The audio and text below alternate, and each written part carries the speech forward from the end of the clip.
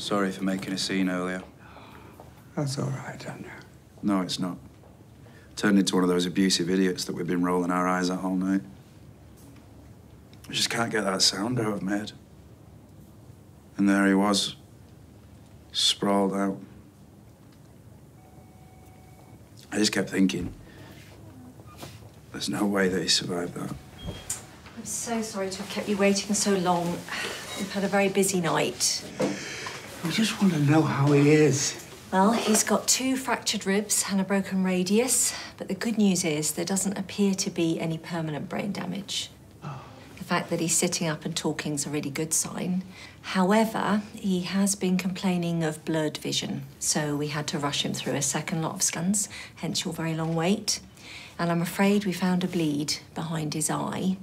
It could lead to a loss of sight if we don't relieve the pressure. He could go blind. I'm hopeful it won't come to that, but yes, it's a risk, which is why we'd like to operate immediately.